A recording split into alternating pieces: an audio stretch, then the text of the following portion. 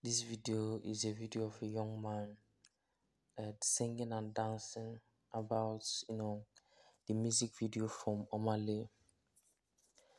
He is also an artist as you can see and a very creative person.